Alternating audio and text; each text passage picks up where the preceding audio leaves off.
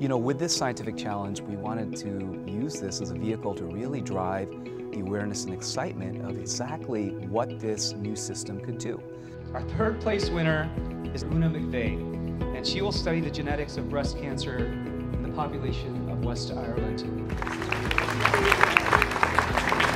So my name is Una McVeigh and I'm studying at the Lambe Institute for Translational Research in the National University of Ireland, Galway. She will receive three sequencing runs on the MiniSeq facilitated by Illumina. My research focuses on the inherited predisposition to breast cancer and is supported by an Irish charity, Breast Cancer Research. I'm trying to identify clinically actionable mutations that predispose women to breast cancer.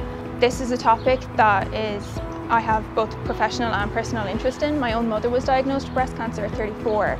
So thankfully she's alive and well today, but for many women diagnosed around the same age as her and at the same time, they haven't had the same outcome.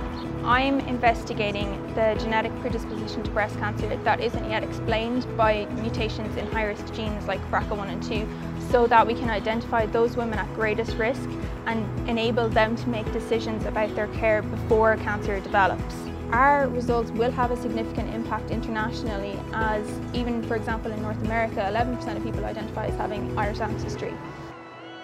The power of NGS to really unlock the genome was just absolutely illustrated in the applications. You know, all the way from broad molecular biology to oncology to infectious disease, to inherited disease, research, uh, topics covering public health. Um, truly remarkable, I mean, and amazingly illustrative of really what Uh, a sequencer, even as small and simple as the MiniSeq is, really can do.